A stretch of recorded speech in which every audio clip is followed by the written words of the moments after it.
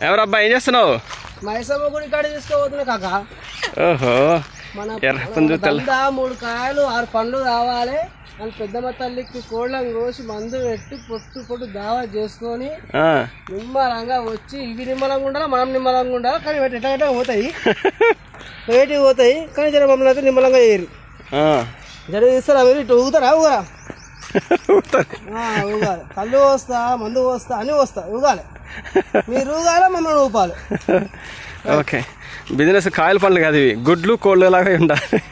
ఇక బిజినెస్ లాగా అట్లా వచ్చేసింది ఫ్లోలా అంతే. ఇక ఏం నడుస్తుంది నడవాలి? అన్ని శని గీని ఏమున్నా కానీ దెబ్బ తెగ్గవాలి రైట్.